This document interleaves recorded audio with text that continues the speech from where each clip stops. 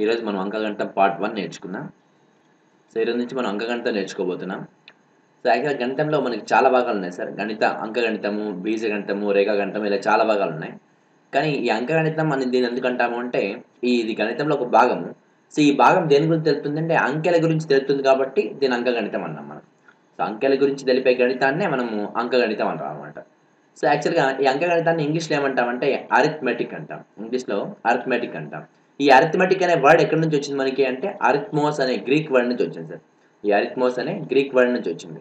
ఈ అరిథ్మోస్కి మీనింగ్ ఏంటంటే నంబర్స్ అని అర్థం అనమాట సో గ్రీక్ శాస్త్రవేత్తలు కనుక్కున్నప్పుడే వాళ్ళ మీనింగ్లో నెంబర్స్ని పెట్టుకున్నారు. సో కాబట్టి మన అర్థమెటిక్ అంతా మొత్తం అంతా మన దేని మీద డిపెండ్ ఉంటుంది అంటే దేని మీద స్టడీ చేస్తుంది అంటే అంకెల మీద స్టడీ చేస్తుంది మొత్తం అంతా.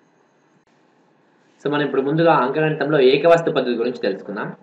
సో ఏకవస్తు పద్ధతి అర్థం చేసుకోవడానికి మనం ఒక ఉదాహరణ చూద్దాం ఫస్ట్ సో ఉదాహరణ ఏంటంటే ఒక మనకు ఒక ఇరవై పెన్నులు కావాలనుకోండి. అంటే ఒక షాప్కి వెళ్ళాం మనము. ఒక ఇరవై పెన్నులు కావాలి మనకి. వాడు షాప్ వాడికి వెళ్ళి మనకు ఇరవై పెన్నులు కావాలా అంటే వాడు మొత్తం మీద ఎంత చెప్పా అంటే నాలుగు వందల రూపాయలు చెప్పా అనుకోండి. నాలుగు వందల రూపాయలు చెప్తే మన ఫ్రెండ్ వచ్చి ఏం చేశాడంటే ఇంకో పది పెన్నులు ఎక్కువ కొనాలరా అని చెప్పాడు. ఇంకో పది పెన్నులు ఎక్కువ కావాలన్నప్పుడు ఏం చేస్తాం? మనం ముప్పై పెన్నులు కావాలి ఇప్పుడు. ముప్పై పెన్నులు ఎంత పడతాయి అని తెలుసుకోవడానికి మనం ఏం చేస్తామంటే ఫస్ట్ ఒక పెన్ను వేల ఎంత కనుక్కుంటాం? అంటే ఇరవై పెన్నుల వేల నాలుగు వందల రూపాయలు ఇచ్చాడు కదా. ఒక పెన్ను వేల ఎంత అంటే అంటే ఇక్కడ అర్థం ఇక్కడ మీనింగ్ ఏంటంటే నాలుగు వందల రూపాయలని ఇరవై పెన్నులకి సమానంగా పంచాలి మీరు. అంటే నాలుగు వందల రూపాయలు ఉన్నాయనుకోండి మీ దగ్గర. ఇరవై మందికి సమానంగా పంచితే ఎంత వస్తుంది? ఒక్కొక్కరికి ఇరవై రూపాయలు వస్తుంది కదా.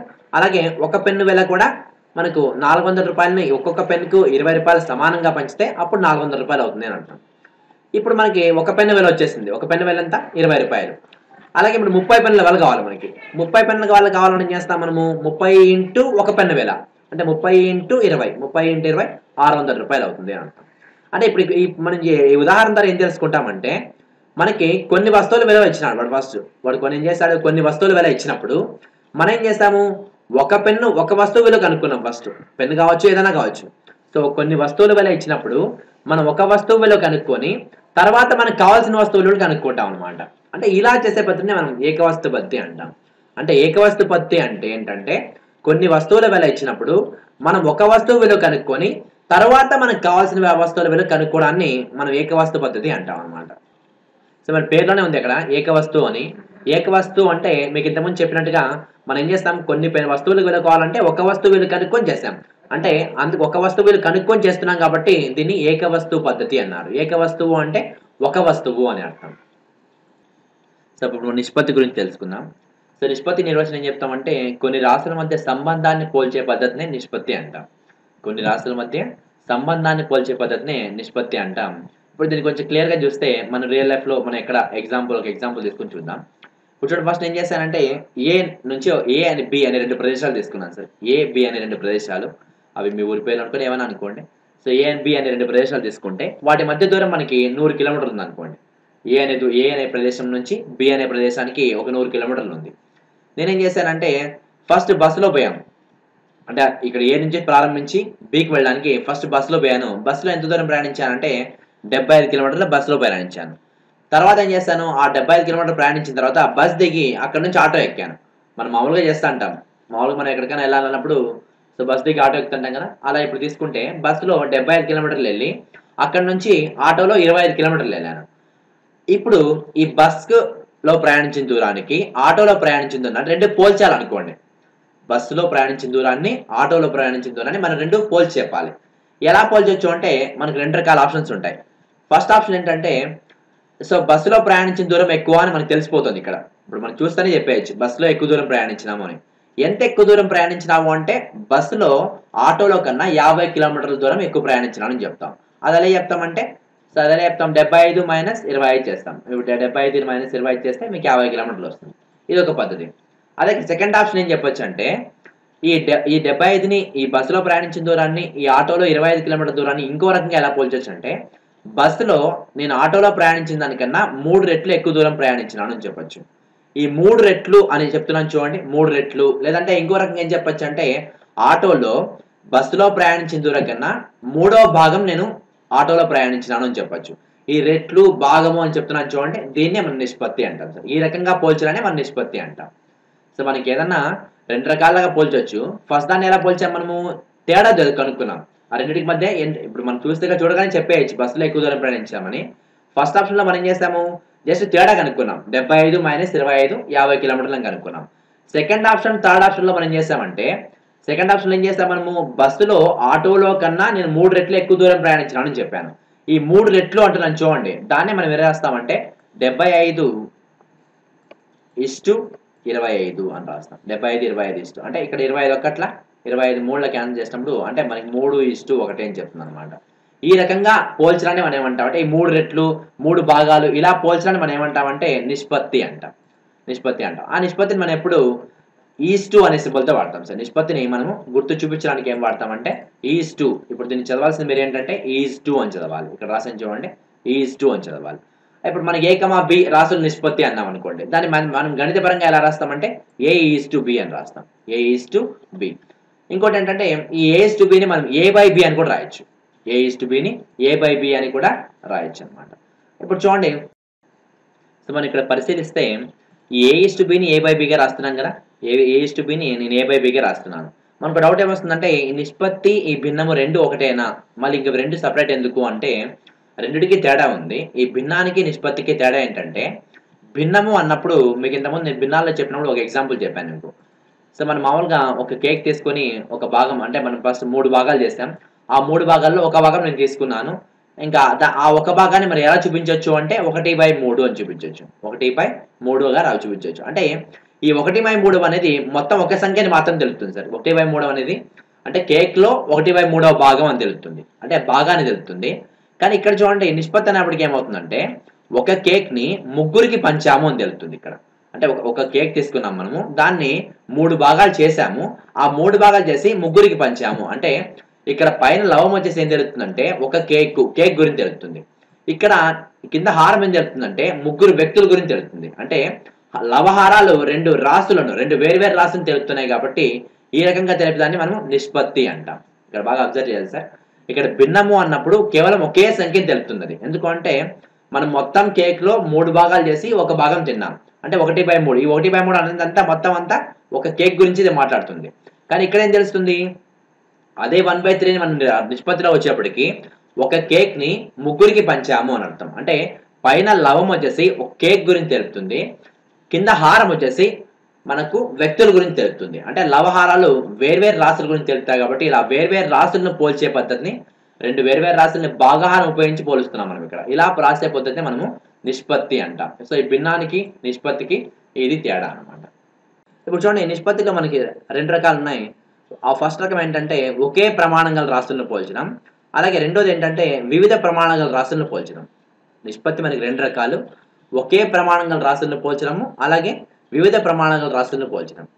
సో ఒకే ప్రమాణాలు రాసిన పోల్చడంలో మళ్ళీ రెండు భాగాలు ఉన్నాయి. ఒకే ప్రమాణంగా రాసిన పోల్చడంలో రెండు భాగాలు ఉన్నాయి. దాంట్లో ఏంటంటే ఫస్ట్ వచ్చేసి భాగానికి భాగానికి నిష్పత్తి అలాగే భాగానికి మొత్తానికి నిష్పత్తి. ఇప్పుడు చూడండి ఈ భాగానికి అంటే ఒక్కోదాన్ని మనకి క్లియర్గా తెలుసుకుందాం మనం.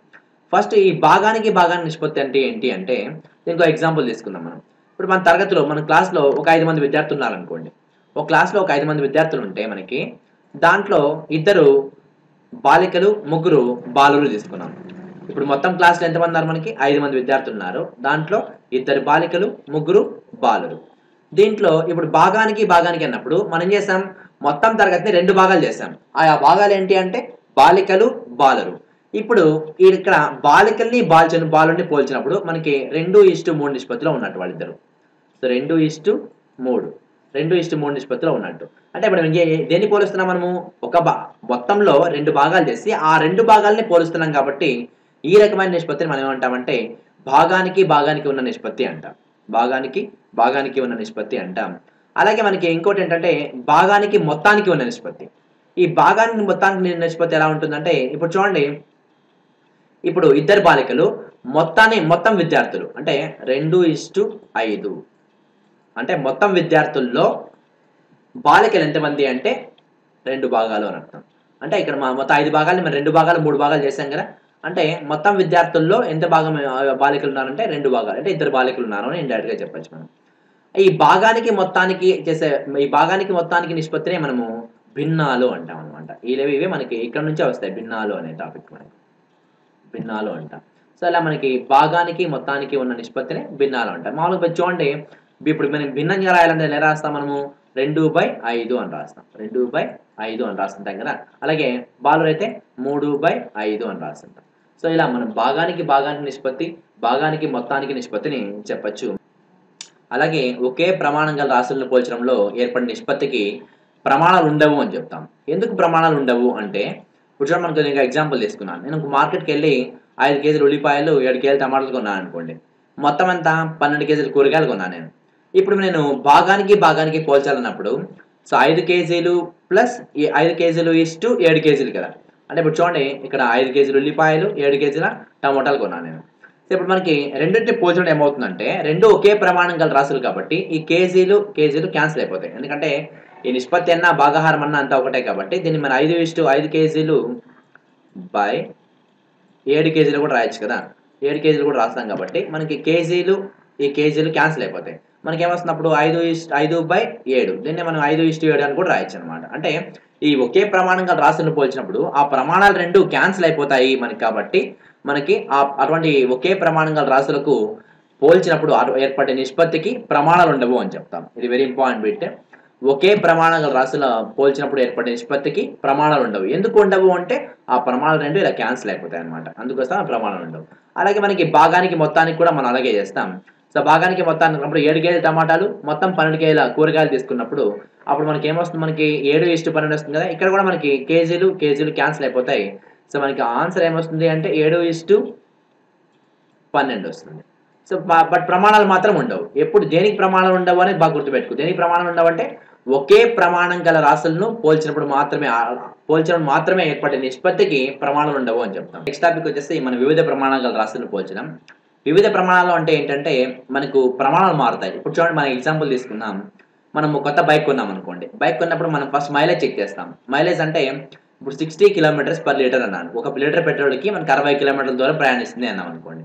ఇప్పుడు చూడండి ఇక్కడ ఇక్కడ ప్రమాణాలు చూస్తే మీరు కిలోమీటర్స్ ఉన్నాయి. కింద మనం పోల్చుకుని దేంతో పోలుస్తున్నాం? లీటర్లతో పోలుస్తున్నాం. అంటే వివిధ ప్రమాణాలతో పోలుస్తున్నాం.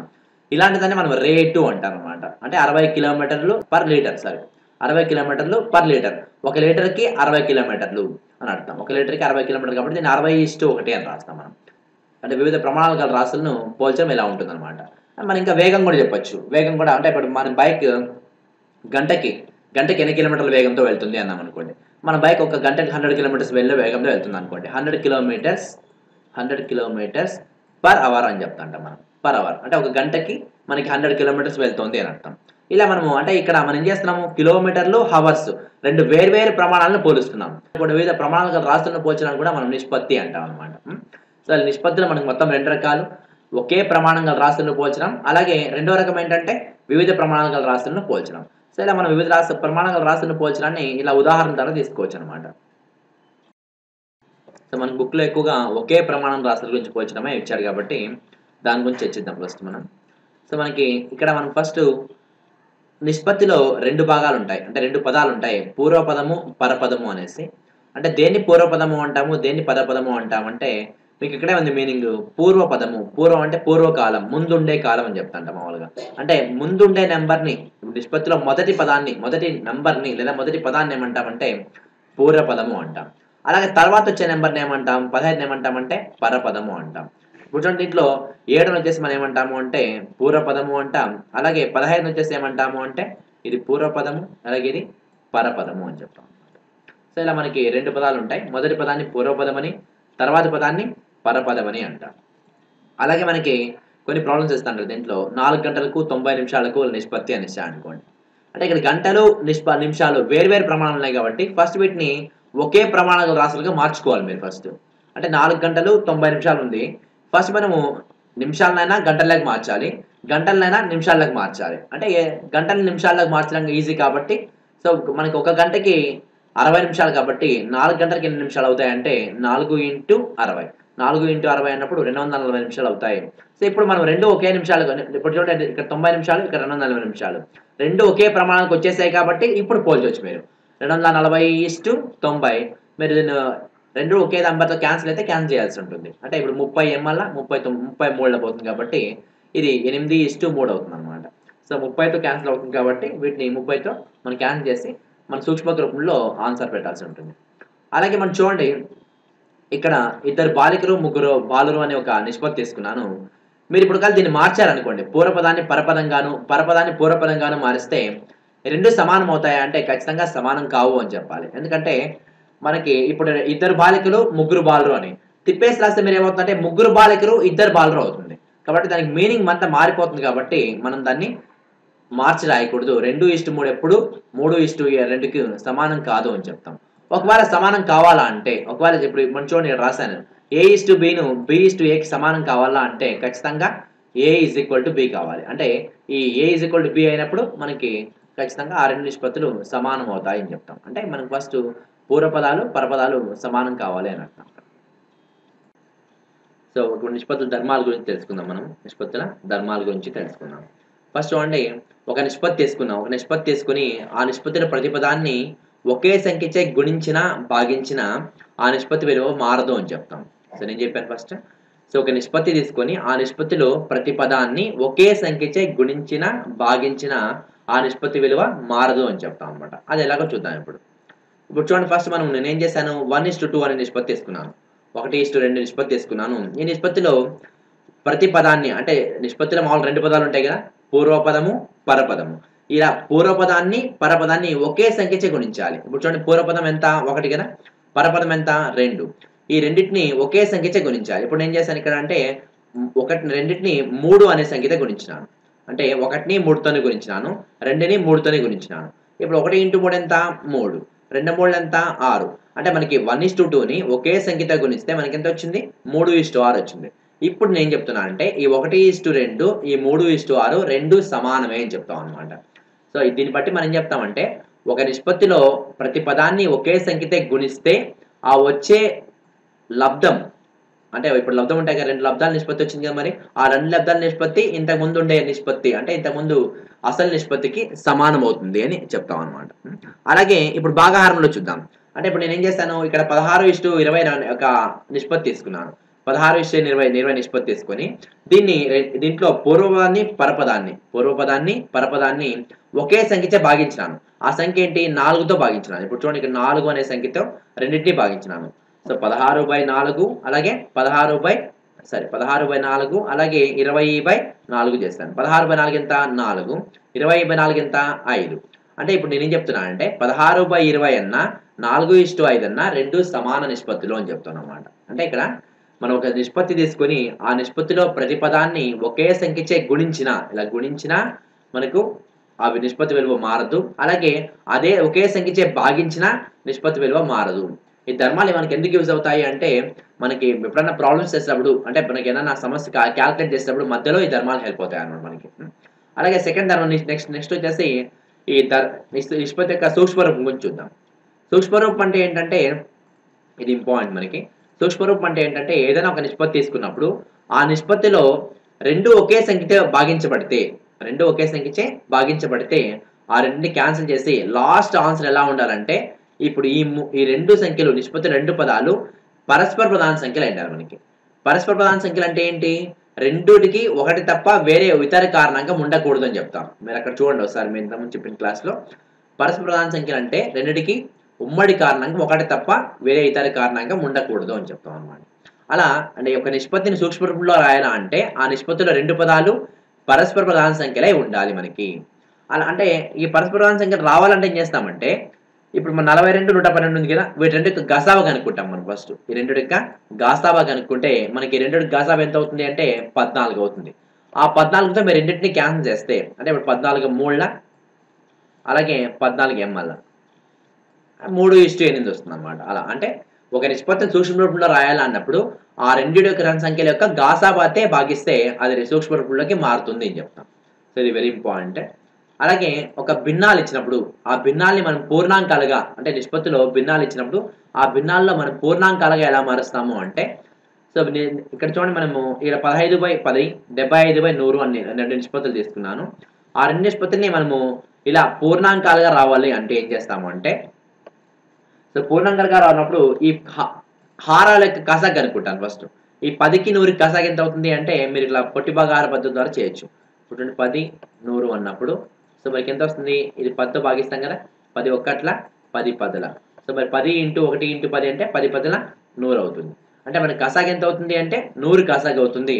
నూరు కసాగ అయినప్పుడు సో నూరుతో రెండు భిన్నాలని గురించాలి పదహైదు బై పది ఇంటూ నూరు ఇస్టు డెబ్బై ఐదు బై నూరు ఇంటూ నూరు. సో ఇప్పుడు చూడండి ఇక్కడ క్యాన్సిల్ అవుతుంది. పది ఒక్కట్ల పది పదల క్యాన్సిల్ అవుతుంది మనకి. సో పదహైదు ఇంటూ పది అంటే నూట యాభై వస్తుంది. ఇక్కడ మళ్ళీ నెక్స్ట్ దాంట్లో మనకి నూరు నూరు రెండు క్యాన్సిల్ అయిపోతాయి. ఇక్కడ మనకి నూరు ఇక్కడ నూరు క్యాన్సిల్ అయిపోతే మనకి ఏం మిగులుతుంది? నూట యాభై ఇస్తూ డెబ్బై ఐదు.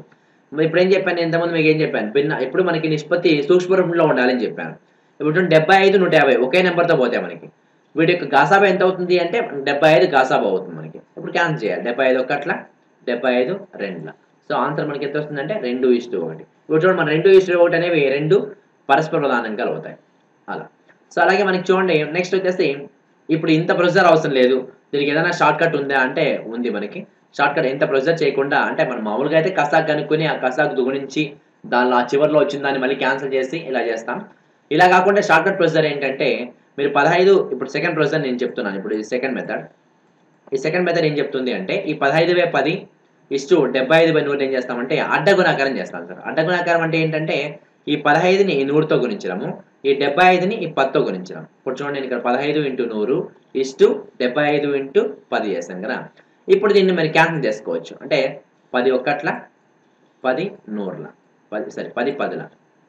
అంటే ఇప్పుడు మరి పదహైదు పదులు ఎంత అవుతుంది? నూట యాభై అవుతుంది. డెబ్బై ఐదు ఒకట్ల డెబ్బై ఐదు అవుతుంది. ఇప్పుడు మళ్ళీ నూట యాభై ఇస్టు డెబ్బై ఐదు వచ్చిందే మనకి?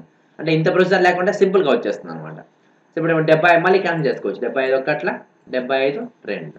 సో మనకి ఆన్సర్ ఏమొస్తుంది లాస్ట్లో టూ ఇస్ట్ వన్ మీరు ఇలా చేసినా సేమ్ వస్తుంది ఇలా చేసినా ఒకే ఆన్సర్ వస్తుంది. కాబట్టి మీకు ఈ ప్రొసెసర్ మీకు కొంచెం అంటే కసాబా కసాక్ కనుక్కొని ఆ కసాక్ గురించి కొంచెం మనము లెంత్ ప్రాసెస్ అవుతుంది. ఇదైతే మనకు ఈజీగా వస్తుంది అనమాట సో అలాగే మనకి ఇంకోటి ఏంటంటే నిష్పత్తులు పోల్చాలి అన్నప్పుడు ఎలా పోలుస్తామంటే సేమ్ షార్ట్ కట్ యూస్ చేస్తాం. నిష్పత్తిలో ఏది తక్కువ నిష్పత్తి ఏది ఎక్కువ నిష్పత్తి అని చెప్పాలన్నప్పుడు ఏం చేస్తామంటే సేమ్ ఇంతకుముందు మనం ఇంతకుముందు భిన్నాల్లో ఎలా పోలుస్తామో అలాగే పోలుస్తాం సార్. ఇప్పుడు చూడండి మనం ఫస్ట్ ఈ రెండింటిని సేమ్ ఇంతకుముందు చేసినట్టుగానే చేస్తాం. ఫస్ట్ అడ్డగుణాకారం చేస్తాం. ఇప్పుడు నేను ఏం చేశాను? ఏడు బై పది ఇరవై బై ఇరవై ఐదు తీసుకున్నాను. దీంట్లో ఏది పెద్ద నిష్పత్తి ఏది తక్కువ నిష్పత్తి అన్నప్పుడు ఏం చేస్తామంటే ఫస్ట్ అడ్డగుణాకారం చేస్తాం. ఇరవై ఐదు ఇంటూ ఏడు అలాగే పది ఇంటూ ఇరవై. సో ఇరవై ఐదు ఇంటూ ఏడు ఎంత వచ్చింది? నూట డెబ్బై ఐదు. పది ఇంటూ ఇరవై ఇరవై ఎంత వచ్చింది? రెండు వందలు. ఇప్పుడు చూడండి నూట డెబ్బై ఐదు పెద్దదా? రెండు వందలు పెద్దదా అంటే మనకి రెండు వందలే పెద్దది అవుతుంది కాబట్టి నూట డెబ్బై ఐదు లెస్ దాన్ రెండు వందలు అని పెడతాం. ఈ నూట డెబ్బై ఐదు దేని నుంచి వచ్చింది మనకి? ఏడు బై పది నుంచి వచ్చింది కాబట్టి ఏడు బై పది అనేది రెండు బై ప ఇరవై ఐదు కన్నా అంటే ఏడు బై పది లెస్ దాన్ ఇరవై బై ఇరవై ఐదు అని చెప్తాం అనమాట అంటే మనకి ఏది ఏది నిష్పత్తిలో రెండిట్లోన చిన్నదేది ఏది అన్నప్పుడు భిన్నాలను ఎలా చేసినామో అలాగే మనకి. సో ఇప్పుడు మన నిష్పత్తుల రకాల గురించి తెలుసుకుందాం. సో ఫస్ట్ రకం ఏంటంటే వర్గ నిష్పత్తి అంటాం. సో వర్గ నిష్పత్తి అంటే ఏంటంటే ఇప్పుడు మనం ఏదైనా ఒక నిష్పత్తి తీసుకున్నాం అనుకోండి రెండు ఇష్టు మూడు యొక్క వర్గ నిష్పత్తి ఏమవుతుందంటే దాంట్లో ప్రతి పదం యొక్క వర్గము చేయాలి ఫస్ట్ మనం. అంటే ఇప్పుడు దీంట్లో పరపదము పూర్వపదం రెండు ఉంటాయి కదా. రెండుని పూర్వపదం అంటాం మూడుని పరపదం అంటాం. ఈ రెండు పదాలని వర్గాలు చేస్తే వచ్చే నిష్పత్తిని ఈ నిష్పత్తి యొక్క వర్గం వర్గ నిష్పత్తి అంటాం. అంటే ఇప్పుడు చూడండి రెండు ఇష్టు మూడు తీసుకున్నాను నేను. దీంట్లో రెండు స్క్వేర్ చేస్తాను రెండు స్క్వేర్ అంటే అంటే ఏంటి? రెండు ఇంటూ రెండు రెండు ఇంటూ రెండు అని అర్థం. అలాగే మూడు స్క్వేర్ చేస్తాను మూడు ఇంటూ మూడు. అంటే రెండు స్క్వేర్ ఎంత? నాలుగు వస్తుంది. రెండు రెండులో నాలుగు కాబట్టి. మూడు స్క్వేర్ మూడు మూడు తొమ్మిది కాబట్టి తొమ్మిది వస్తుంది. ఇప్పుడు రెండు ఇష్టు మూడు యొక్క వర్గ నిష్పత్తి ఎంత అంటే నాలుగు ఇష్టు తొమ్మిది అని చెప్తాం అనమాట అంటే మీరు ఏదైనా ఒక నిష్పత్తి తీసుకున్నప్పుడు దాంట్లో దాని యొక్క వర్గ నిష్పత్తి కావాలన్నప్పుడు దాంట్లో ప్రతి పదాన్ని వర్గం చేయగా వచ్చే నిష్పత్తినే మనం వర్గ నిష్పత్తి అంటాం. అలాగే వర్గమూల నిష్పత్తి. వర్గమూల నిష్పత్తి అంటే ఏంటంటే ఇక్కడ సేమ్ డిఫరెన్స్ ఏం లేదు.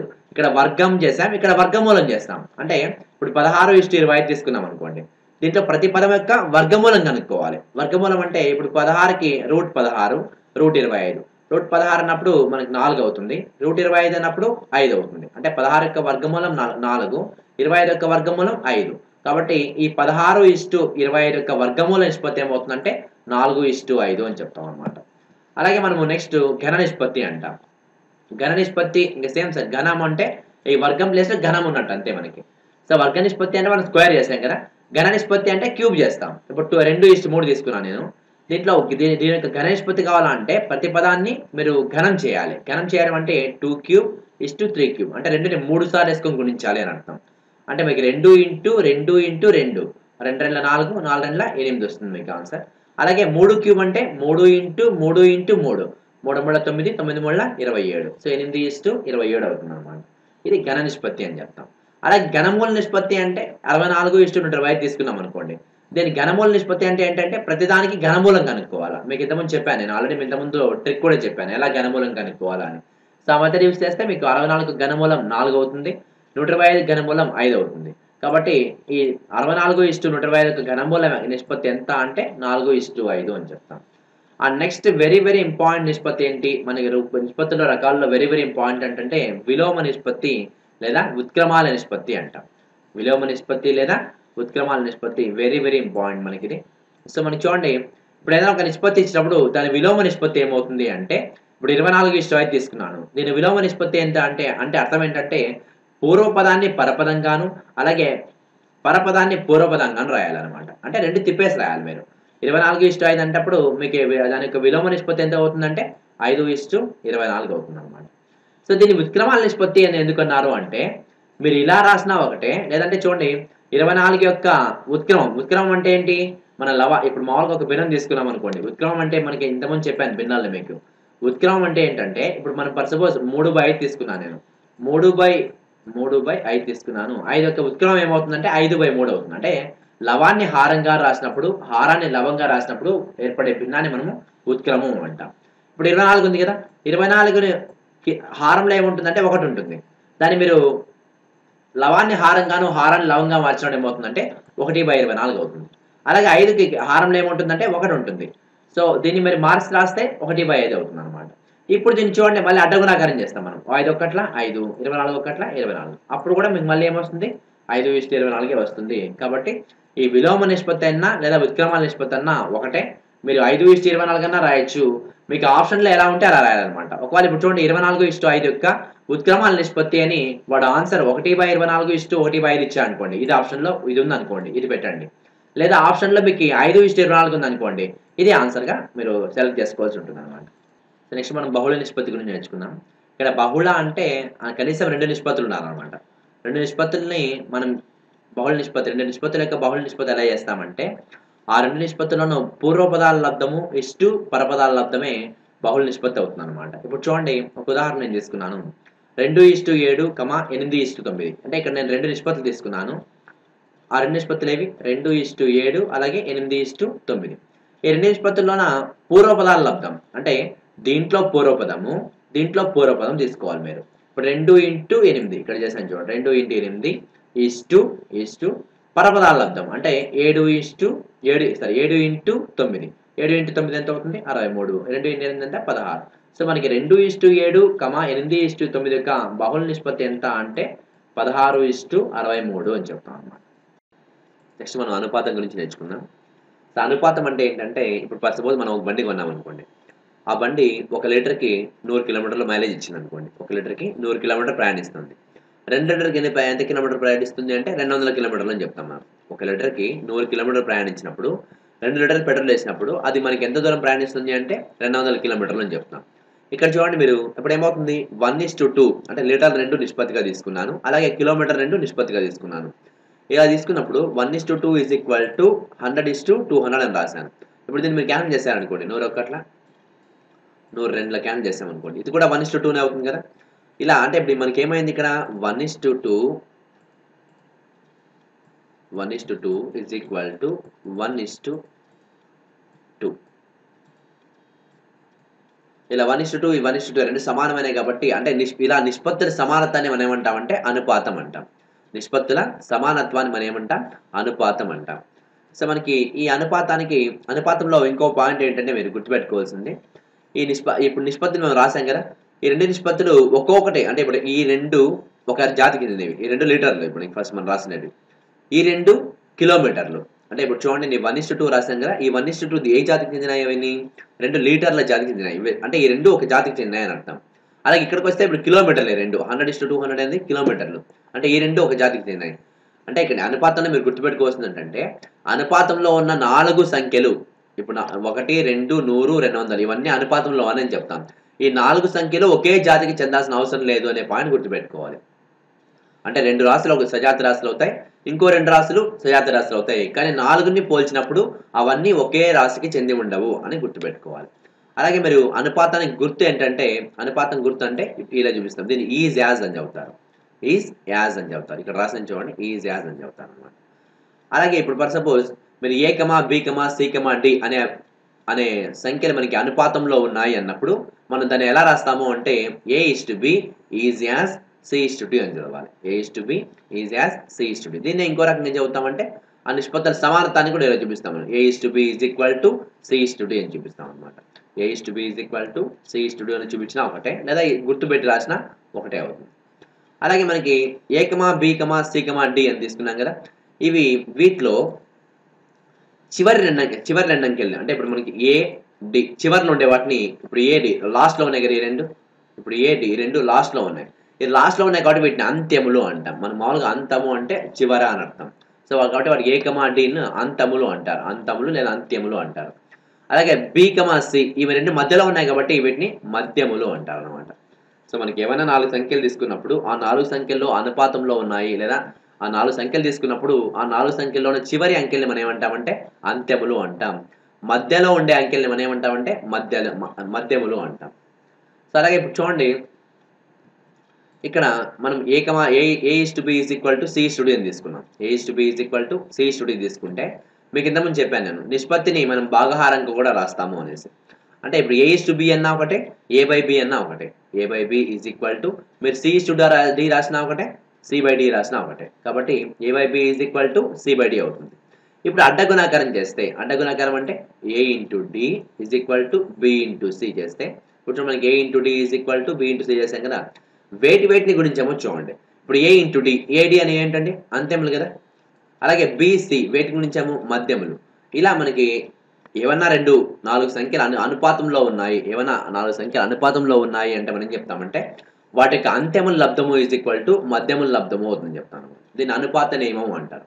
అనుపాత నియమము అంటారు. అనుపాత నియమం ఏం చెప్తుంది అంటే ఏవైనా రెండు నాలుగు సంఖ్యలు అనుపాతంలో ఉన్నాయి లే ఉన్నాయా లేదా ఎలా చెప్తాము అంటే ఇవి ఖచ్చితంగా అంత్యముల లబ్ధము ఈజ్ ఈక్వల్ టు మధ్యముల లబ్ధం అయినప్పుడు ఆ నాలుగు సంఖ్యలు మనకి అనుపాతంలో ఉన్నాయి అని చెప్తాం అనమాట అంటే ఇప్పుడు మీరు ఇలా ఎందుకు ఈ అంత్యముల లబ్ధం మన మధ్యముల లబ్ధం తీసుకుంటామంటే అడ్డగుణాకారం చేస్తే వస్తుంది కాబట్టి దీన్ని మనము అనుపాత నియమము అని చెప్తాం అనమాట అనుపాత నియమం మనకి ఏం చెప్తుంది?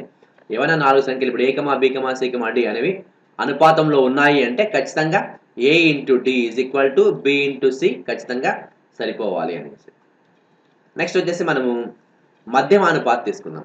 మధ్యమానుపాతం అంటే ఏంటంటే కొన్ని నిష్పత్తులు ఎలా ఉంటాయంటే ఇప్పుడు చూడండి ఇక్కడ ఒకటి కమా రెండు కమా రెండు కమా నాలుగు అని తీసుకున్నాను నేను. ఒకటి కమా రెండు కమా రెండు కమా నాలుగు అని తీసుకున్నాను. ఇక్కడ మనకి దీని ఏం రాయొచ్చు? One is to two is equal to two is to four. సరిపోతుంది కదా? One is to two is equal to two is to four. ఎందుకంటే ఇది మన రెండు ఒక్కట్ల రెండు రెండుల క్యాన్ చేస్తే ఇప్పుడు చూడండి ఇది రెండు ఒక్కట్ల అలాగే రెండు రెండుల. క్యాన్ చేస్తాం అనుకోండి. అప్పుడు కూడా వన్ ఇస్ టూ అవుతుంది కదా? అంటే ఇవన్నీ అనుపాతంలో ఉన్నాయి. కానీ ఇక్కడ ఏమంటే ఇక్కడ ఏమవుతుందంటే మొదటి నిష్పత్తిలో ఉన్న పరపదము రెండవ నిష్పత్తిలో ఉన్న పూర్వపదానికి సమానం అవుతుంది మొదటి నిష్పత్తిలో ఉన్న పరపదము అంటే రెండవ పదము మొదటి రెండవ నిష్పత్తిలో ఉన్న పూర్వపదానికి సమానం అవుతుంది ఇలా సమానమైతే దాన్ని ఆ నిష్పత్తిని ఏమంటారంటే నిరంతర నిష్పత్తిలో ఉన్నాయి అని చెప్తాం. అంటే ఇప్పుడు మీరు one comma two comma four. ఈ నా ఈ మూడు నిరంతర నిష్పత్తిలో ఉన్నాయని చెప్తాం. అంటే ఇక్కడ మీకు ఎన్ని అంకెలు ఉన్నాయి అంటే కరెక్ట్గా చెప్పాలంటే మీరు మూడు అంకెలే ఉండేది ఇక్కడ. సో ఇలా మూడు అంకెలు మాత్రమే ఉన్నప్పుడు మనం దాన్ని ఎలా రాస్తాం? A comma B comma B comma C. అంటే A is to B is equal to B is to C అయినప్పుడు.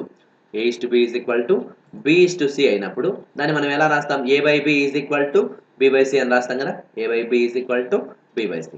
ఇప్పుడు అడ్డగుణాకారం చేసామనుకోండి. B into B A into C. So B into B అంటే బి స్క్వేర్ అవుతుంది కదా? B square is equal to AC అని చెప్తాం. ఈ వర్గం అవతకెళ్తే వర్గమూలం అవుతుంది. So B is equal to square root of AC అని చెప్తాం. ఇది బాగా గుర్తుపెట్టుకోవాలి. ఈ మధ్యమానుపాతం మీద క్వశ్చన్ ఎలా ఉంటుంది అంటే ఇప్పుడు పర్సపోజ్ ఇలా ఇస్తాడు. రెండు కమా ఎనిమిది యొక్క మధ్య అనుపాతం ఎంత అని. రెండు కమా ఎనిమిది యొక్క అంటే రెండు సంఖ్యలు ఇచ్చి వాటి యొక్క మధ్య అనుపాతం కనుక్కోమంటాడు. మీరు ఇప్పుడు ఫామ్లో చూడొచ్చు ఇక్కడ. B is equal to square root of AC కదా? అంటే ఏమైనా రెండు సంఖ్యలు ఇచ్చినప్పుడు ఆ రెండు సంఖ్యల్ని గుణించి ఆ దాని యొక్క వర్గమూలం కనుక్కుంటే మనకు వచ్చే ఆన్సరే మధ్యమానుపాతం అవుతుంది అని చెప్తాం. అంటే ఇప్పుడు చూడండి రెండు కమా ఎనిమిది యొక్క మధ్యానుపాతం వాడు అడిగాడు. మీరు ఏం చేయాలి? ఈ రెండింటిని గుణించాలి ఫస్ట్ అంటే రెండు ఇంటూ ఎనిమిది చేశాను చూడండి రెండు ఇంటూ ఎనిమిది దానికి వర్గమూలం కనుక్కోవాలి. అంటే రెండు ఇంటూ ఎనిమిది రాసాము దానికి మళ్ళీ మీరు స్క్వేర్ రూట్ సింబల్ వేశారు. అంటే దట్ ఈస్ ఈక్వల్ టు రెండు నెంబర్లు ఎంత? పదహారు కదా? స్క్వేర్ రూట్ ఆఫ్ పదహారు ఎంత అవుతుంది మనకి? నాలుగు. అంటే రెండు కమా ఎనిమిది యొక్క మధ్య అనుపాతం ఎంత? అంటే నాలుగు అని చెప్తాం అనమాట నెక్స్ట్ మనం అనులోమానుపాత గురించి నేర్చుకుందాం. అనులోమానుపాతం అంటే ఏంటి అని అర్థం చేసుకోవడానికి ఒక ఉదాహరణ తీసుకున్నాను నేను. ఒక షాప్కి వెళ్ళి ఒక పెన్ కొన్నాను అనుకోండి ఆ పెన్ వచ్చేసి పది రూపాయలు పడింది మనకి. ఆ పెన్ పది రూపాయలు పడింది. అదే నేను టూ రెండు పెన్నులు కొనాలంటే ఎంత పడుతుంది మనకి? ఇరవై రూపాయలు. అదే మూడు పెన్నులు కొనాలంటే ముప్పై రూపాయలు అవుతుంది. ఇప్పుడు చూడండి ఇక్కడ ఏమవుతుంది? పెన్నుల సంఖ్య పెరిగే కొద్దీ పెన్నుల వెల కూడా పెరుగుతుంది. అంటే ఒక పెన్ను పది రూపాయలు పడినప్పుడు రెండు పెన్నులు ఎంత అవుతుంది? ఇరవై రూపాయలు అవుతుంది. మూడు పెన్నులు ఎంత అవుతుంది? ముప్పై రూపాయలు అవుతుంది. అంటే ఇక్కడ రెండు రాసులు తీసుకున్నాం మనం.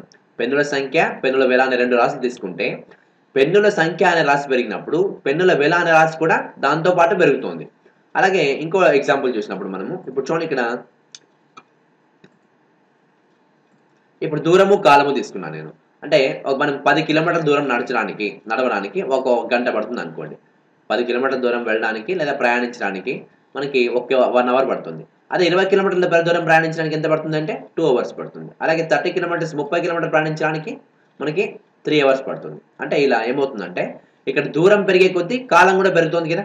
అంటే ఒక రాశి ఇప్పుడు దూరము అనే రాశి పెరిగినప్పుడు కాలము అనే రాశి దాని తగ్గట్టుగా పెరుగుతుంది. ఇలా రెండు రాశులు ఒక రాశి పెరిగితే ఇంకో రాశి పెరగడం జరిగితే అప్పుడు ఆ రెండు రాశులు మనకి అనులోమానుపాతంలో ఉన్నాయని చెప్తాం అనమాట అంటే ఒక రాశి పెరిగితే రెండవ రాశి కూడా పెరగడము. అలాగే ఇప్పుడు చూడండి నేను రివర్స్లో అనుకోండి ఇప్పుడు చూడండి నేను ఇలా రివర్స్లో చూస్తాను. రివర్స్ అంటే ఇప్పుడు మనం చూడండి ఇప్పుడు ముప్పై కిలోమీటర్లు ప్రయాణించడానికి నాకు మూడు గంటలు పట్టింది. ఇరవై కిలోమీటర్లు ప్రయాణించడానికి రెండు గంటలే పట్టింది. పది కిలోమీటర్లు ప్రయాణించడానికి ఒక గంట పట్టింది. అంటే రివర్స్లో చూసినప్పుడు ముప్పై కిలోమీటర్లకి మూడు గంటలు. అంటే తగ్గుతుంది చూడండి ముప్పై కిలోమీటర్లకి. మళ్ళీ ఇరవై కిలోమీటర్లు అయితే ఇంకా కాలం కూడా తగ్గుతుందా? పది కిలో అంటే కిలోమీటర్లు తగ్గితే కాలం కూడా తగ్గుతుంది కదా? అంటే దూరం తగ్గినప్పుడు కాలం కూడా తగ్గుతుంది తగ్గుతుంది అనమాట అంటే ఇక్కడ మనకి ఏం చెప్తామంటే ఒక రాశి పెరిగితే రెండవ రాశి పెరిగినా లేదా ఒక రాశి తగ్గితే రెండవ రాశి తగ్గినా ఆ రెండు రాశులు అనులోమ చరిత్రంలో ఉన్నాయని చెప్తాం. అనులోమ చరిత్రంలో ఉన్నాయని చెప్తాం. దీన్నే మనం అనులోమానుపాతంలో ఉన్నట్టుగా కూడా చెప్తాం అనమాట అనులోమానుపాతంలో ఉన్నట్టుగా చెప్తాం. అనులోమ చరిత్రం అంటే ఏంటంటే ఒక రాశి పెరగతే ఇంకో రాశి పెరగడము. అలాగే ఒక రాశి తగ్గినప్పుడు దానికి తగ్గట్టుగా ఇంకో రాశి కూడా తగ్గుతూ ఉంటే ఆ రెండు రాశులు అనులోమ చరిత్రంలో ఉన్నాయని చెప్తాం. అలాగే ఇప్పుడు చూడండి మనం దీన్ని జనరల్గా రాయాలంటే ఎలా రాస్తామంటే ఇప్పుడు ఎక్స్కమా వైలు అనులోమానుపాతంలో ఉంటాయి ఎక్స్కమా వైలు అనులోమానుపాతం. అంటే అక్కడ అర్థం ఏంటి? ఎక్స్ పెరిగితే వై పెరుగుతోంది అని అర్థం. అలా ఏదంటే ఎక్స్ తగ్గితే వై తగ్గుతోంది అని అర్థం. అప్పుడు దాన్ని మనం మ్యా- గణితపరంగా ఎలా రాస్తాము అంటే X is directly proportional to Y అని రాస్తాం. ఎక్స్ ఈస్ డైరెక్ట్లీ ప్రపోర్షనల్ ఇప్పుడు సింబల్ ఇది గుర్తుంచుకోండి. ఆల్ఫా అనే గుర్తు కనిపిస్తుంది మీకు. దాన్ని ఏమంటామంటే డైరెక్ట్లీ ప్రపోర్షనల్ అని చెప్పాలి. లేదంటే మనం తెలుగులో చెప్పాలంటే ఎక్స్ అనేది వైకి అనులోమానుపాతంలో ఉంది అని చెప్తాం అనమాట అదే మనం చదవాలన్నప్పుడు ఎలా చదువుతాం అంటే X is directly proportional to Y అని చెప్తాం. ఇక్కడ మీరు ఇంకోటి అబ్జర్వ్ చేస్తే ఇప్పుడు చూడండి మేము ఇక్కడ ఒక పెన్ను పది రూపాయలు రెండు పెన్ను ఇరవై రూపాయలు మూడు పెన్ను ముప్పై రూపాయలు అని కదా. ఇక్కడ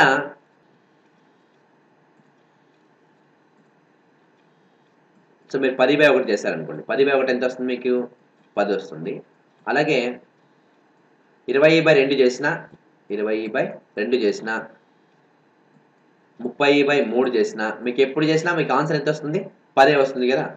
అలా అంటే రెండు రాసులు అనులోమానుపాతంలో ఉంటే వాటి నిష్పత్తి ఎప్పుడు సమానంగా ఉంటుంది. అంటే మనం భాగించినప్పుడు సమానంగా వస్తుంది అని అర్థం.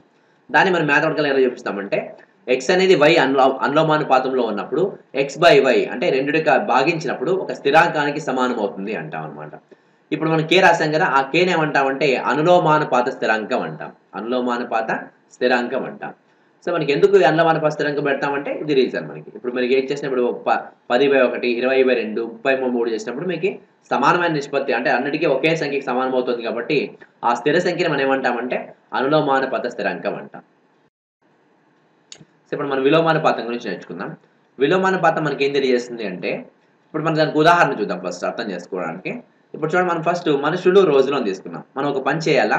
ఆ పనికి మనం మనుషులు పెట్టాం ఫస్ట్. మనుషులు పది మంది మనుషులు పెట్టాం. ఆ పది మంది మనుషులకి వాళ్ళకి ఎంత వాళ్ళు ఏం చెప్పారంటే మాకు ముప్పై రోజులు టైం కావాలా అన్నారు.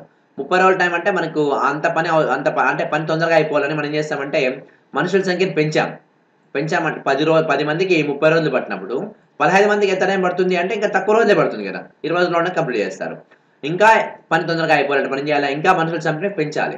మనుషుల సంఖ్య ఇంకా ఇరవై మందిని చేశారనుకోండి అప్పుడు పదహైదు రోజుల్లోనే అయిపోతుంది. అంటే ఇక్కడ ఏమవుతుంది అంటే ఒక రాశి పెరుగుతూ ఉంటే ఆటోమేటిక్గా ఇంకో రాశి మనకు తగ్గుతోంది. ఇలా మనకి ఒక రాశి పెరిగితే ఇంకో రాశి తగ్గడానే మనము విలోమానుపాతం అంటారు అనమాట లేదా దీన్ని రివర్స్లో చేసామనుకోండి. రివర్స్లో చేస్తే అంటే మనకి ఇరవై రోజులకి మనకి ఏమవుతుంది పదహైదు ఇరవై మంది సారీ ఇరవై మందికి పదహైదు రోజులు పడుతుంది. అదే పదహైదు మందికి ఇరవై రోజులు పడుతుంది. అంటే ఒక రాశి ఇక్కడ తగ్గుతుంటే ఇంకో రాశి పెరుగుతుంది. అంటే ఇప్పుడు మనం దీనికి నిర్వచనం ఏం చెప్తామంటే విలోమానుపాతం అంటే ఏం చెప్తామంటే ఒక రాశి పెరిగితే రెండవ రాశి తగ్గడము లేదా ఒక రాశి తగ్గితే రెండవ రాశి పెరగడము ఆపోజిట్నెస్ అన్నమాట. ఇలా జరిగితే ఆ రెండు రాశులు మనకి విలోమ చరత్వంలో ఉన్నాయని చెప్తాం. రెండు రాశులు మనకి విలోమ చరత్వంలో ఉన్నాయని చెప్తాం అనమాట అలాగే ఇంకో ఉదాహరణగా మీకు వేగము కాలం కూడా చూడొచ్చు. ఇప్పుడు మనము బస్సులో హండ్రెడ్ కిలోమీటర్ స్పీడ్లో వెళ్ళాము అనుకోండి. హండ్రెడ్ కిలోమీటర్ స్పీడ్లో వెళ్తే మనకు ఒక గంట టైం పట్టింది అనుకోండి. మనం ప్ర- చేరు చేరుకున్న ప్రదేశానికి మనకి ఒక గంట పట్టింది అనుకోండి. అదే మనం టూ హండ్రెడ్ కిలోమీటర్ స్పీడ్లో వెళ్తే మనం విత్ ఇన్ హాఫ్ అన్ అవర్లోనే అంటే జస్ట్ ముప్పై నిమిషాలనే వెళ్ళిపోతాం. అంటే ఇక్కడ ఒక రాశి పెరుగుతుంటే ఇంకో రాశి తగ్గుతోంది. ఇలాంటి వాటిని మనం ఏమంటామంటే విలోమ చరత్వం అంటాం. లేదా విలోమానుపాతంలో ఉన్నాయని చెప్తాం అనమాట అంటే ఇక్కడ బాగా నిర్వచనం అర్థం చేసుకోండి. ఒక రాశి పెరిగితే రెండవ రాశి తగ్గడము లేదా ఒక రాశి తగ్గితే రెండవ రాశి పెరగడము జరిగితే ఆ రెండు రాశులు విలోమ చరత్వంలో ఉన్నాయి లేదా విలోమానుపాతంలో ఉన్నాయి అని చెప్తాం అనమాట అలాగే మనము ఇప్పుడు దాన్ని మనం గణితపరంగా ఎలా రాస్తామంటే ఇప్పుడు ఫర్ సపోజ్ ఎక్స్ కమా వైలు విలోమానుపాతంలో ఉంటే దాన్ని ఎలా రాస్తామంటే X is directly proportional to ఒకటి బై వై అని రాస్తాం. X is directly proportional to ఒకటి బై వై ఈ గుర్తేం మారదు కానీ దాన్ని మనం చూపించడం ఎలా చూపిస్తామంటే X is directly proportional to one by Y దీన్ని మనం ఇంకా ఎలా చెప్పొచ్చు అంటే X is inversely proportional to Y అని కూడా చెప్తారు. X is inversely proportional to Y చదవడంలో మాత్రం తేడా ఉంటుంది. గుర్తంతా ఒకటే సార్. ఇంతకుముందు డైరెక్ట్లీ ప్రపోర్షనల్ కూడా మనం ఇదే సింబల్ వాడాం. ఇన్ ఈ ఇన్వర్స్ ప్రపోర్షనల్ కూడా మనం ఇదే సింబల్ వాడతాం. కానీ చదవడంలో తేడా ఉంటుంది అనమాట so X is directly proportional to ఒకటి బై వై అయినా చదవచ్చు. లేదా ఇంకో రకంగా దీన్ని ఏం చదవచ్చు అంటే X is inversely proportional to Y అని చదవచ్చు. ఈ ఇన్వర్స్ ప్రపోర్షన్ అంటే విలోమానుపాతాన్ని ఇంగ్లీష్లో మనం ఇన్వర్స్లీ ప్రపోర్షనల్ అంటాం అనమాట మరి ఇంకో పాయింట్ ఇక్కడ అబ్జర్వ్ చేస్తే మీరు చూడండి మీరు ఇక్కడ నేను ఇక్కడ మనుషులు రోజు తీసుకున్నాం కదా ఈ రెండు గుణించండి. పది ఇంటి ముప్పై ఎంత వస్తుంది మీకు? ఈ రెండు గుణిస్తే మూడు వందలు వస్తుందే మీకు? మూడు వందలు వస్తుంది. అలాగే ఇక్కడ మూడు వందలు వస్తుంది. ఇక్కడ మీరు పదహైదు ఇంటి ఇరవై చేసినా మూడు వందలే వస్తుంది. అలాగే ఇరవై ఇంటి పదహైదు చేసినా మీకు మూడు వందలే వస్తుంది. అంటే విలోమానుపాతంలో ఉండే రెండు రాసులు గుణిస్తే ఆ రెండు రాసులు గుణించినప్పుడు వచ్చే లబ్ధం మనకి ఎప్పుడూ ఒక స్థిర సంఖ్యని ఇస్తుంది అని చెప్తాం అనమాట విలోమానుపాతంలో ఉండే రెండు రాసులు గుణించినప్పుడు ఆ వచ్చే లబ్ధం ఎప్పుడు ఒక స్థిర సంఖ్య అవుతుంది కాబట్టి మనం ఎలా జనరల్గా ఎలా రాస్తామంటే X into Y is equal to K అంటాం. ఈ కేను వచ్చేసి విలోమానుపాత స్థిరాంకం అంటాం. So X into Y is equal to K అన్నప్పుడు ఆ కేను వచ్చేసి మనము స్థిరాంకం అంటాం అంటే కే వచ్చేసి ఒక స్థిరాంకం మనకి అలా చెప్పచ్చు. సో ఇప్పుడు మనం విశ్రమానుపాతం గురించి నేర్చుకున్నాం విశ్రమానుపాతం అంటే ఏంటి తెలుసుకోవడానికి ఒక ఉదాహరణ చూద్దాం ఫస్ట్ మనం. ఇప్పుడు నేను ఏం చేసానంటే మనుషులు గంటలు రోజులు తీసుకున్నాను అంటే నూట తొంభై ఎనిమిది నూట తొంభై ఐదు మంది మనుషులు రోజుకు పది గంటలు పని చేస్తే ఆ పని ఇరవై రోజుల్లో అయిపోతుంది. ఇక్కడ అర్థం చేసుకోవాలి. నూట తొంభై ఐదు మంది మనుషులు రోజుకు పది గంటలు పని చేస్తే ఇరవై రోజుల్లో అయిపోతుంది. కానీ పని పని తొందరగా అయిపోవాలి ఏం చేసామంటే మనుషుల్ని పెంచాం. అంటే రెండు వందల మందిని చేసాము అలాగే పని వేళలు కూడా పెంచాం. పదమూడు గంటలు పని చేయాలి రోజుకి అని చెప్పాం. అప్పుడు ఆ పని మనకి ఏమవుతుంది? ఆటోమేటిక్గా పదహైదు రోజుల్లోనే అయిపోతుంది కదా? అంటే ఇక్కడ మీరు అబ్జర్వ్ చేస్తే ఈ మనుషుల సంఖ్య పెరిగితే గంటల సంఖ్య కూడా పెరుగుతుంది. అంటే ఈ రెండు అనులోమానుపాతంలో ఉన్నాయి మనకి. ఈ మనుషులు గంటలు వచ్చేసి ఈ రెండు అనులోమానుపాతంలో ఉన్నాయి. ఎందుకంటే ఇప్పుడు చూడండి నూట తొంభై ఐదు పది రెండు వందలకు వచ్చేప్పటికంటే ఈ నూట తొంభై ఐదు రెండు వందలు అయితే ఈ పది కూడా పదమూడు అయింది కదా? అంటే ఈ రెండు మనకి ఒక ఒక రాశి పెరుగుతుంటే ఇంకో రాశి కూడా పెరిగింది. ఇప్పుడు రెండు అనులోమానుపాతంలో ఉన్నాయి. కానీ ఈ మనుషులు రోజులు చూస్తే మీరు ఈ మనుషులు రోజు చూస్తే ఇప్పుడు నూట తొంభై ఐదు మందికి మనకు ఇరవై రోజులు పట్టింది. అదే మనకి రెండు వందల మందికి ఎన్ని రోజులు పట్టింది అంటే పదహైదు రోజులే పట్టింది. అంటే ఒక రాశి పెరుగుతుంటే ఇక్కడ ఇంకో రాశి తగ్గుతోంది. అంటే ఈ మనుషులు అనేది గంటలతో పోల్చి అనులోమానుపాతంలో ఉంది. అదే మనుషులు అనేది రోజులతో విలోమానుపాతంలో ఉంది. అంటే ఇక్కడ ఒక రాశి రింగ్ మిగతా రెండు రాశులతో పోల్చినప్పుడు ఒకదాంతో అనులోమానుపాతంలోను ఇంకో దాంతో విలోమానుపాతంలో ఉంటే అటువంటి దాన్ని మనం ఏమంటామంటే మిశ్రమానుపాతం అంటాం అనమాట సో ఇప్పుడు మనము అనులోమానుపాతము విలోమానుపాతం మిశ్రమానుపాతం ఇలా ప్రాబ్లమ్స్ ఉన్నాయి కదా? ఇలాంటి ప్రాబ్లమ్స్ని మనం ఈజీగా ఎలా చేయొచ్చో నేర్చుకుందాం. ఫస్ట్ అంటే ఒక క్వశ్చన్ ఇచ్చాడు ఇలా. ఒక హాస్టల్లో నలుగురు విద్యార్థులకు అయ్యే భోజనం ఖర్చు అరవై రూపాయలు అయినా ఐదు వందల ఇరవై మందికి ఎంత ఖర్చు అవుతుంది అని ఇచ్చాడు. ఒక హాస్టల్లో నలుగురు విద్యార్థులకు అయ్యే భోజనం ఖర్చు అరవై రూపాయలు అయినా ఐదు వందల ఇరవై మందికి ఎంత ఖర్చు అవుతుంది అన్నాడు. ఫస్ట్ దీంట్లో మీరు ఇక్కడ ఏవేవి కంపేర్ చేసినాడో చూసుకోవాలి సార్. ఏ రాశులు పోల్చాడో చూసుకోవాలా. ఇక్కడ మీకు ఏ రాశులు పోల్చాడు? విద్యార్థులు ఖర్చు. విద్యార్థులు ఖర్చు. ఆ రెండో చోట రాసుకోండి. విద్యార్థులు ఖర్చు ఒక చోట రాసుకున్నాం కదా. ఇప్పుడు వాడు ఏమన్నాడు? ఇక్కడ మీరు ఏం రాయాలా? ఫస్ట్ ఏం రాయాలా? సెకండ్ ఏం రాయాలా అంటే ఏది కనుక్కోవాలో దాన్ని సెకండ్లో రాసుకోండి సార్. ఫస్ట్ విద్యార్థులు. విద్యార్థులు రెండు తెలుసు కాబట్టి ఫస్ట్ విద్యార్థులు రాసుకోండి మన ఖర్చు అనుకోవాలి కాబట్టి ఖర్చు లాస్ట్లో రాసుకోండి. అంటే విద్యార్థులు ఖర్చు ఇలా రాసుకోండి. ఫస్ట్ విద్యార్థులు రెండు తెలుసు కాబట్టి ఫస్ట్ విద్యార్థులు రాసేయండి ఏం కనుక్కోవాలా? దాన్ని లాస్ట్లో రాసుకోండి. ఏం కనుక్కోవాలి? ఇక్కడ ఖర్చు రాసుకోవాలి కాబట్టి సరే ఖర్చు కనుక్కోవాలి కాబట్టి ఖర్చుని లాస్ట్లో రాసుకోండి. ఇప్పుడు చూడండి వాడు ఏమన్నాడు నలుగురు విద్యార్థులకు అరవై రూపాయలు అయితే ఐదు వందల ఇరవై మందికి ఎంత అవుతుంది అన్నాడు. ఇప్పుడు చూడండి మీరు ఇక్కడ ఈ క్వశ్చన్ మార్క్ ప్లేస్లో మీకు ఆన్సర్ కావాలి. ఇప్పుడు క్వశ్చన్ మా ఆన్సర్ ఇస్ ఈక్వల్ టు ఇప్పుడు చూడండి సార్ మనకి జనరల్గా ఐడెంటిఫై ఐడెంటిఫై చేస్తే నలుగురు విద్యార్థులకు అరవై రూపాయలు అయితే ఐదు వందల ఇరవై మందికి ఎక్కువ అవుతుందా తక్కువ అవుతుందా? ఆటోమేటిక్గా మనకి ఎక్కువ వస్తుంది కదా ఖర్చు. సో కాబట్టి ఈ విలువల్ని ఎక్కువ బై తక్కువ వేసుకోవాలా? ఇప్పుడు దీంట్లో పెద్ద విలువ బై చిన్న విలువ. మనకి ఆన్సర్ వచ్చే దాన్ని బట్టి మీరు వేసుకోవాల్సి ఉంటుంది అనమాట అంటే మీరు ఎలా పోల్చాలి ఫస్ట్ నలుగురు విద్యార్థులకు అరవై మంది అరవై రూపాయలు ఖర్చు అయితే ఐదు వందల ఇరవై మందికి ఎంత ఖర్చు అవుతుంది అంటే ఎక్కువ అని ఆన్సర్ వస్తుంది మనకి. ఎక్కువ కాబట్టి పెద్ద విలువ బై చిన్న విలువ. అంటే ఎక్కువ విలువ బై తక్కువ విలువ వేసుకోవాలన్నమాట. అంటే ఇప్పుడు ఐదు వందల ఇరవై బై నాలుగు ఇంటూ ఈ రిమైనింగ్ వాల్యూ. ఇక్కడ ఏం మిగిలితే అది. ఇప్పుడు ఇక్కడ అరవై మిగిలింది కాబట్టి అరవై వేసాను. ఐదు వందల ఇరవై బై ఐదు వందల ఇరవై బై నాలుగు ఇంటూ అరవై. ఈజ్ ఈక్వల్ టు మీకు ఎంత వస్తుంది? ఈ రెండు సింపుల్ వేసుకుంటే మీకు ఆన్సర్ ఏడు వేల ఎనిమిది వందలు వస్తుంది అనమాట సో ఇక్కడ ఇంకో ఎగ్జాంపుల్ ద్వారా మనం ఇంకోసారి చూద్దాం మేడం. ఇప్పుడు చూడండి ఇంకో ఎగ్జాంపుల్ చూద్దాం.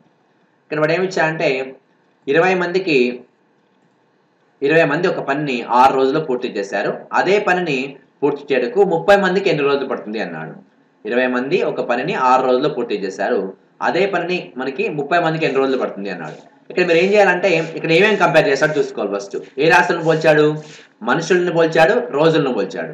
కాబట్టి మనకు ఫస్ట్ మనుషులు తీసుకుంటే ఇరవై మంది మనుషులు అంటే ఏం కనుక్కోవాలో చూసుకోవాలి సార్ ఫస్ట్ ఫస్ట్ ఏది రాసుకోవాలి సెకండ్ ఏది రాసుకోవాలంటే ఏది కనుక్కోవాలో దాన్ని సెకండ్ రాసుకోండి. ఇప్పుడు ఇక్కడ రోజులు కనుక్కోవాలి కాబట్టి రోజులు సెకండ్ లాస్ట్లో రాసుకోండి అనమాట ఇప్పుడు మనకి ఇరవై మంది ఇచ్చాడు. ఇరవై మందికి ఎన్ని రోజులు పట్టింది? ఆరు రోజులు పట్టింది.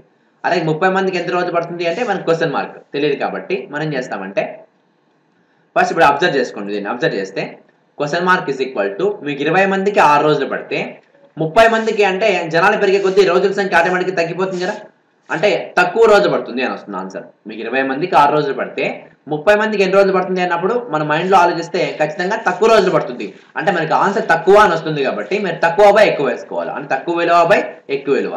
సో ఇరవై బై ముప్పై ఇంటూ ఆరు. సో మీరు క్యాన్ దీన్ని సింప్లిఫై చేసుకుంటే ఆరు ఒక్కట్లు ఆరు ఐదుల ఐదు ఒక్కట్లు ఐదు నాలుగు. అంటే నాలుగు రోజులు పడుతుంది అని చెప్తాం అనమాట సో నెక్స్ట్ ఇంకో ప్రాబ్లం చూద్దాం మనం ఫస్ట్ ఇప్పుడు క్వశ్చన్ చూడండి. ఐదుగురు పనివారు ముప్పై కిలోమీటర్ల రోడ్డును ఆరు రోజుల్లో పూర్తి చేశారు. పది మంది పనివారు నలభై కిలోమీటర్ల రోడ్డును ఎన్ని రోజులు పూర్తి చేస్తారు అని ఉంది. ఇక్కడ మీరు చెప్పాను ఇంతమంది మీకు ఏది కనుక్కోవాలో లాస్ట్లో రాసుకోవాలి సార్ ఫస్ట్ ఇప్పుడు మీకు చూడండి ఐదుగురు పనివారు ముప్పై కిలోమీటర్ల రోడ్డును ఆరు రోజుల్లో పూర్తి చేశారు. ఇక్కడ పదికి పది మంది నలభై కిలోమీటర్ల రోడ్డును ఎన్ని రోజుల్లో పూర్తి చేశారు? ఇక్కడ ఏం కనుక్కోవాలా? రోజులు కనుక్కోవాలి కాబట్టి రోజులు లాస్ట్లో రాయండి. రోజుల్ని లాస్ట్లో రాయండి.